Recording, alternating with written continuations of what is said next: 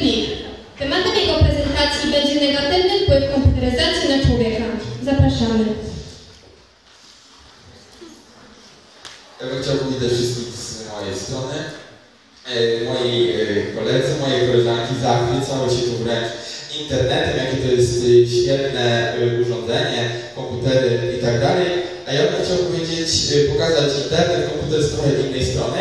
Może nie będę tutaj dosłownie negował i, i mieszał złotem komputera i internetu, ale e, chciałem powiedzieć parę słów od siebie.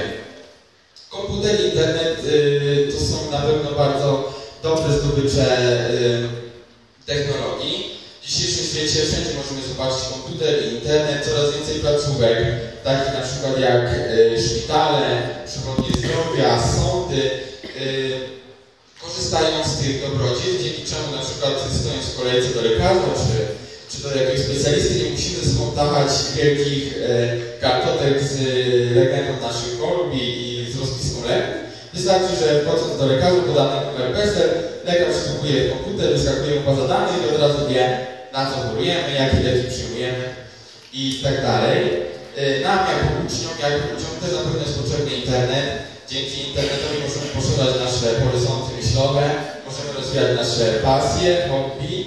Yy, No nie wyobrażamy sobie przede wszystkim e, szkoły dzisiaj bez internetu, dlatego że wiele zadań czy, czy innych tego typu rzeczy możemy znaleźć na internecie, co, co bardzo nam długo pomaga.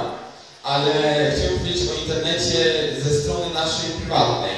Bardzo często jest tak, że przychodzimy po szkole do domu, siadamy przed e, komputerem i mija jedna godzina, mija druga godzina, mija trzecia godzina i tak naprawdę na tym internecie nie robimy nic. E, Oglądamy jakieś e, różne obrazki na stronach typu besty, demotywatory, oglądamy śmieszne kotki na YouTube i odchodzimy po trzech godzinach od komputera i, i zdajemy sobie sprawę z tego, że tak naprawdę nie zrobiliśmy nic. Bardzo często tak jest. Ja bym chciał też powiedzieć o y, takiej rzeczy jak ana- analfabetyzm wtórny. Jest to bardzo niedobra my uczniowie możemy mieć próbkę takiego małego analfabetyzmu wtórnego co roku po wakacjach. Mamy dwa miesiące wakacji, wszystkie notatki, wszystkie długopisy idą B, kąt, to jest złe, teraz są wakacje, szkoła minęła. Przychodzimy po dwóch miesiącach luzu do szkoły, siadamy przed e, kartką, bierzemy długopis i coś nam nie idzie do pisania. Często tak jest, prawda, że coś tam jakoś nam, co ja nie mogę, nie, coś mi jest ciężko pisać po tych miesiącach. I to jest właśnie analfabetyzm wtórny. Na szczęście są tylko dwa miesiące, a wyobraźcie sobie, co będzie, jeżeli my za y, 7-8 lat skończymy studia, pójdziemy do pracy, gdzie na pewno będziemy używać komputerów, internetu po 7 lat. Wątpię, żeby jeszcze ktoś wtedy y, korzystał w pracy z tradycyjnych sposobów zapisywania danych, czyli kartki, długopisu, ołówka, pióra.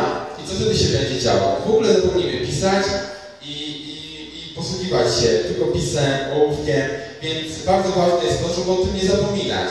Yy, Ja bym yy, chciał, proponował, żeby zrobić sobie taki eksperyment, bo mówimy, że my nie jesteśmy uzależnieni od internetu. Nam się wydaje, że my jesteśmy wolni, że wszystko jest ok, że tak naprawdę, że my sprawdzamy Facebooka, to wcale nie jest żadne uzależnienie, a właśnie, że jest.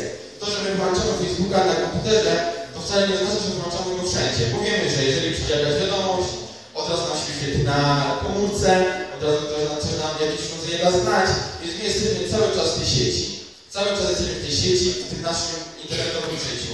To internetowe życie tak naprawdę jest bardzo fajne, bo mamy to, co chcemy. Chcemy oglądać jakieś obrazki, wpisujemy, od razu nam wyskakuje. Chcemy oglądać jakiś film, wpisujemy i wyskakuje. I to jest fajne. Nawet nie ma co porównywać do realnego życia, gdzie być może jest szaro, nudno i kiedy włączamy komputer, nie mamy co robić, nie ma muzyki. Ale bardzo ważne jest to, żeby zwracać na to uwagę. Żeby żyć tutaj i teraz, a nie gdzieś tam w internecie. Żeby na chwilę wyłączyć komputer i włączyć nasze życie. To jest bardzo ważne. Dlatego chciałbym i proponuję Wam, aby zrobić sobie taki test. Nie wiem, sprawdzić, czy tak naprawdę jest uzależniony.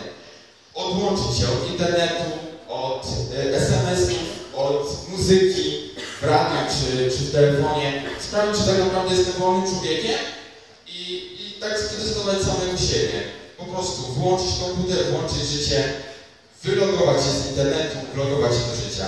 Z mojej strony to tyle. Dziękuję bardzo.